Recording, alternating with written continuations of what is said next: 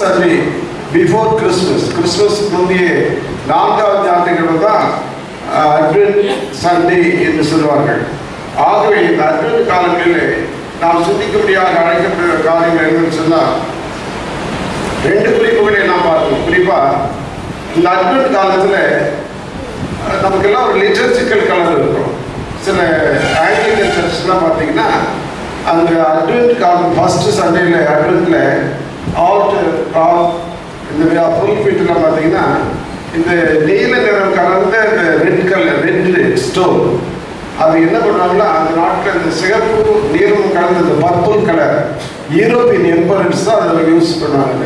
அதுக்கு பேர் princely red அப்படின்னு சொல்லுவாங்க.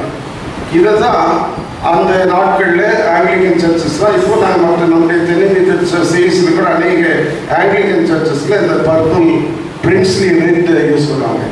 இது எதை குறிக்கிறது ஆண்டவராக இயேசு கிறிஸ்துடைய ஆளுகையை குறிக்கக்கூடியதாக அமைந்திருக்கிறது.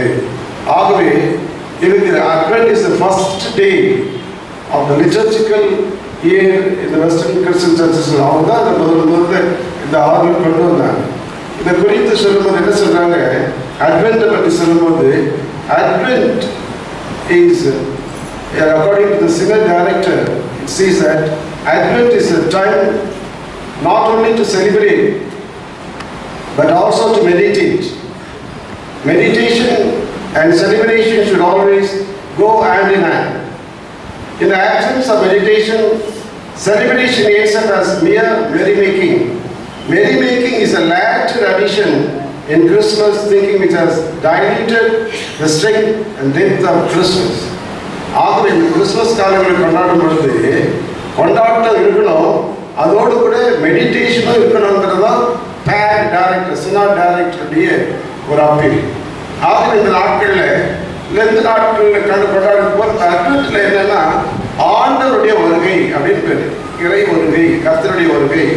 ஆகவே ஆண்டவருடைய வருகை கத்தருடைய வருகை என்று அழைக்கப்பட்ட இந்த நாட்களில் ரெண்டு குறிப்புகள். முதல்ல ஆண்டவராக இயேசு கிறிஸ்துடைய முதலாவது வருகை.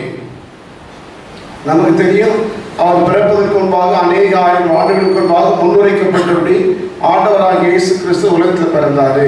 அவர் பிறக்கிறதுக்கு அநேக நூறு ஆண்டுகளுக்கு முன்பாகவே தீர்க்க தரிசனம் சொல்லப்பட்டது. தீர்க்க தரிசனம் நிறைவேறத்தக்கதாக ஆண்டவர் பிறந்தாரு. ஆண்டுடைய பிறப்பின் நோக்கம் த்ரீ டைமென்ஷன்ஸ் ஆஃப் மினிஸ்ட்ரிஸ் சொன்னாங்க. ஒன்லி பகிரிங் த பாவங்களை மன்னிக்கிற ஒழியும் நோய்களை குணமாக்குற ஒழியும் பிசாசு பிடித்தலை சுகமளிக்கிற ஒழியும் இந்த மூன்று வகையான ஊழியங்களிலே அதிகமாய் தன்னை அர்ப்பணித்திருந்தார்.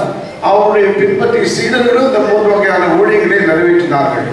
அந்த ஊழியங்களை நிறைவேற்றும் பொழுது அவர் பட்ட பாடுகள் அவர் அவருடைய அவர் கொடுக்கப்பட்ட சிலுவை மரணம் அதன் பிறகு இந்த உயிர்த்தெழுதல் இது எல்லாவற்றையும் சிந்திக்கிறது தான் முதலாவது வருகை. அப்போ அந்த முதலாவது வருகையை சிந்திக்கும் பொழுது the very greatest purpose of God to reveal is himself son Jesus son இயேசுவின் பிதாவாய் கடவுளை வெளிப்படுத்தினார். அவர் பூமியில் வந்தது நோக்கமே பிதாவுடைய நோக்கத்தை நிறைவேற்றும்படியாக குறிப்பாக யோவா முதல் அதிகாரம் பன்னெண்டில் வாசிக்கிறோம். தேவனை ஒருவனும் ஒரு காலம் கண்டதில்லை. பிதாவின் வழியில் இருக்கிற ஒரே பேரான குமாரனை அவரை வெளிப்படுத்தினார். அப்படின்னு வாசிக்கிறோம். ஆகவே first of all we should thank for the first coming of Jesus Christ முதலாவது வருகைக்காக ஆண்டவருக்கு நன்றி சொல்லி இரண்டாவது ஆண்டவருடைய இரண்டாவது வருகைக்கு நாம் ஆயுதப்படுத்தணும் இன்னைக்கு முதலாவது வருகை குறித்து அனைவருக்கு சரியான விளக்கங்கள் இல்லை. ஏதோ எங்கோ பிறந்தாரு நாமெல்லாம் கிறிஸ்து ஏப்பா நீ கிறிஸ்துனா இருக்கன்னா எங்க அப்பா அம்மாலாம் தான் நான் கிறிஸ்து. எல்லாரும் சர்ச்சுக்கு போறாங்க நானும் சர்ச்சுக்கு போறேன். உன் வாழ்க்கையில் ஏதாவது அனுபவம் இருக்கான்னா அதெல்லாம் இல்லை. இன்னைக்கு அநேக வெளிப்படையான கருத்துக்கள். ஏசாமிக்கு உனக்கு என்ன தொடர்பு? தொடர்புலாம் ஒன்றும் இல்லை. எங்கள் அப்பா அம்மாலாம் கிறிஸ்து நான் கிறிஸ்து. எங்கள் அப்பா அம்மாலாம் சர்ச்சுக்கு போகிறாங்க நான் போகிறேன் அப்படிப்பட்ட நிலையில போய் கொண்டிருக்கிற நாட்களில் ஆண்டுடைய வருகை குறித்து வேதம் என்ன சொல்லுன்னு பார்க்கணும்னா குறிப்பாக வேதாகமத்தில் ஆண்டுடைய வருகை குறித்து ஆயிரத்தி எண்ணூற்றி நாற்பத்தைந்து முறை பதிவு செய்யப்பட்டிருக்கிறது. குறிப்பாக இருநூற்றி அறுபது அதிகாரங்களில் இருபத்தைந்து வசனங்களுக்கு ஒரு முறை ஆண்டுடைய வருகை குறிப்பிடப்பட்டிருக்கிறது. புதிய ஏற்பாட்டில் இருபத்தேழு புத்தகங்களில் கலாத்திய பிலமோன் இரண்டு யோவான் மூன்று யோவான் புத்தகங்களை தவிர மற்ற புத்தகங்களிலும் ஆண்டுடைய வருகையானது பதிவு செய்யப்பட்டிருக்கிறதை நாம் இங்கே குறிப்பிட விரும்புகிறோம்.